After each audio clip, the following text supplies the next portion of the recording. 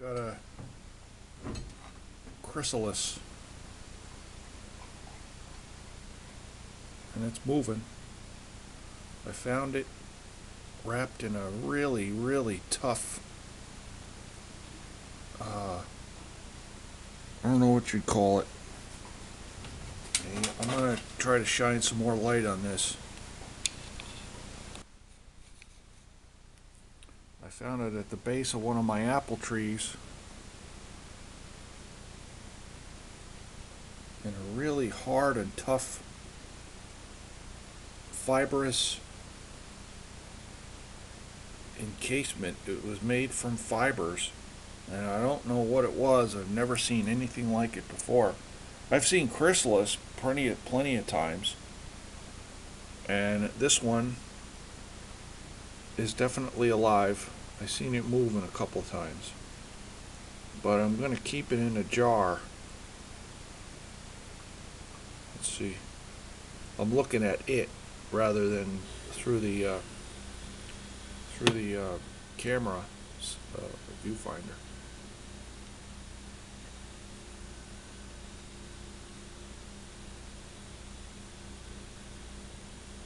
It's definitely alive. But, and it wasn't buried. It was simply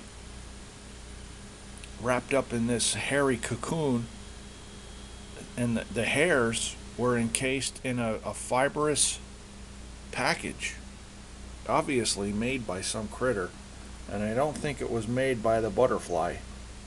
And as I understand it, this is a butterfly cocoon. I do not know what kind of butterfly it is, but it looks exactly like every picture I could find of a butterfly.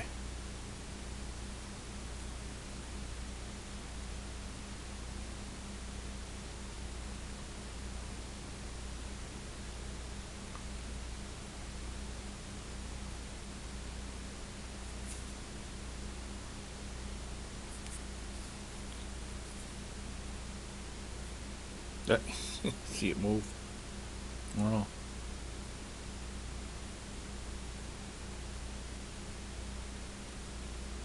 Yep.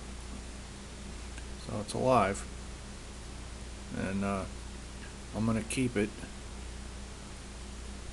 on the shelf in a big jar.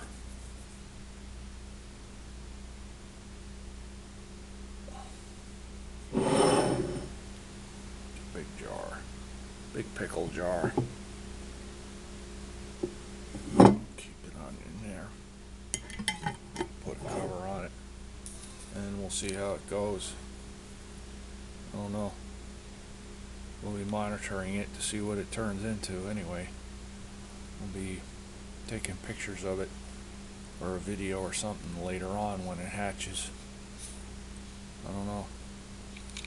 Anybody knows what this thing is, give me a shout. Thanks.